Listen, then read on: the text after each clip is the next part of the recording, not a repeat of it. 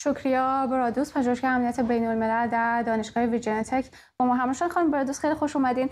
این مقام اسرائیلی که آکسیوس در گزارشش از اون نقل کرده گفته دیگه غنیسازی 90 درصدی خط قرمز اسرائیل نیست. و اگر ایران به غنیسازی 60 درصدی ادامه بده اسرائیل به ایران حمله نظامی می‌کنه. چقدر احتمال چنین حمله ای رو شما محتمل می‌دونید؟ نظر من اینجا قبل اینکه احتمال حمله رو بحث کنم برمیگرده که این گزارش نشون میده که اسرائیل داره سعی می‌کنه به آمریکا بگه که ما یه قرار خط قرمزی بذاریم و اون خط قرمز بالای 60 درجه اگه جمهوری اسلامی بره اینجا حمله صورت می‌گیره. و اینکه وقتی که در گزارش می‌بینیم مقامات اسرائیلی میگن اون گزارشی که در مورد 84 درصد غنیسازی یورانیومی که صورت گرفته بود میگه مورد مهمی نبود مورد توجهی نبود. این به نظر من خودش نشون میده که چقدر تصرف و اشراف داره اسرائیل در مورد برنامه هسته ایران و می‌دونه که این برنامه الان در چه سطحی و میزان غنیسازی یورانیوم در چه سطحیه. و وقتی چنین موضوعی رو طرح می‌کنن به آمریکایی‌ها نشون میدن که دیگه منتظر این نمیمونن که بله جمهوری اسلامی بخواد به یک سقفی برسونه اون غنیسازی رو و آمریکا منتظر باشه که بگن دقیقه 99 و فقط یک درصد مونده بمب بسازن. دقیقه 99 اسرائیل بخواد از آمریکا که حمایت کنه از تصمیمات اسرائیل برای مقابله با چنین برنامه برای همین هم هست. از همین الان می‌خوان یک خط قرمز بذارن همین که گزارشم گفته بالای 60 درصد.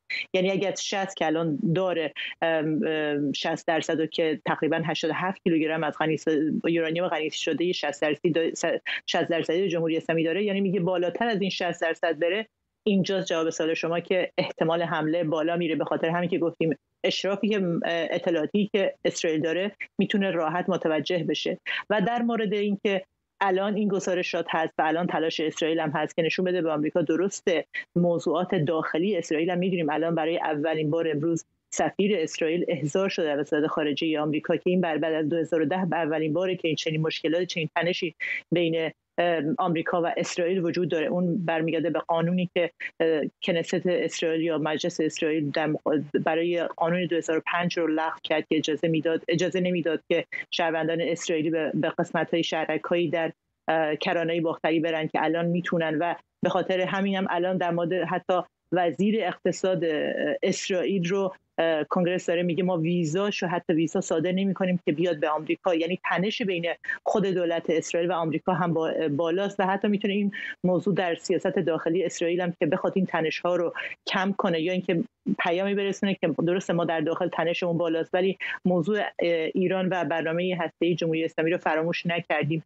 و حتی پیامی هم هست برای آژانس بین‌المللی انرژی اتمی که می‌دونیم بعد از اینکه تصمیماتی حالا پشت پرده بین جمهوری اسلامی و آژانس صورت گرفته که برن و بازدید کنن و اون هماهنگی جمهوری اسلامی می‌خواد با آژانس صورت بله. بگیره آیا این صورت خواهد گرفت یا نه و اسرائیل منتظر نخواهد ماند به نظر اینجا این پیام هایی است که ما می‌تونیم در مورد این تحولاتی یا اون تغییراتی که در این گزارشات هست رو ببینیم خب خانم برادوس این هشدار حمله نظامی اسرائیل به جمهوری اسلامی یا ایران در حالی که در حال حاضر مذاکرات وین با بنبست رو بروه و ما شاهد افزایش تحریم های بیش اعمال تحریم های بیشتر علیه جمهوری اسلامی هستیم به دلیل سرکوب اعتراضات و دخالتش در جنگ اوکراین فکر کنید در چنین شرایط جمهوری اسلامی به دنبال غنیسازی اورانیوم بالای با بالای 60 درصد هست؟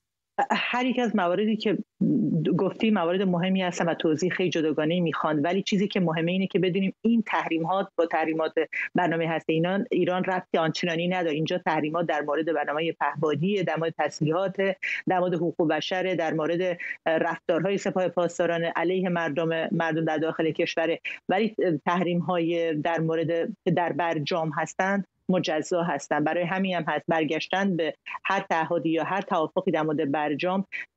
تحریم ها این به این تحریم ها ربط آنچنانی نخواهد داشت. ولی برای اینکه آیا جمهوری اسلامی چنین غنیسازی رو انجام خواهد داد یا نه به نظر من برمیگردیم به صحبت های خامنه ای صحبت هایی که مقامات جمهوری اسلامی حتی سلامی رئیس انرژی اتمی ایران داره انجام میدن. دارن میگن ما هیچ مشکلی وجود نداره که بخوایم تحریمات برداشته بشه. فقط اینجا یک اراده سیاسی می‌خواد. یعنی جمهوری اسلامی داره سعی می‌کنه چون که می‌دونیم یک ما در مورد یک رژیم صحبت می‌کنیم تنها زیر فشار که اون جام زهر را می نوشه و تسلیم فشار خواهد بود و اون فشاره الان که جمهوری اسلامی زیر این فشارها هست چه از نظر انزوای بین المللی انزوای منطقی حتی مجبور شد که تصمیم برگرده به سیاستی که علیه عربستان سعودی داشت در منطقه و برگرده سیاستش رو حالا تغییر سیاست که نداده ولی مجبور شده که سر فرود بیاره درباره فشار چین و با عربستان بله. وارد گفتگو و مذاکرات بشه و توافق انجام ده یعنی تمام این موضوعاتی که میگم به هم رد داره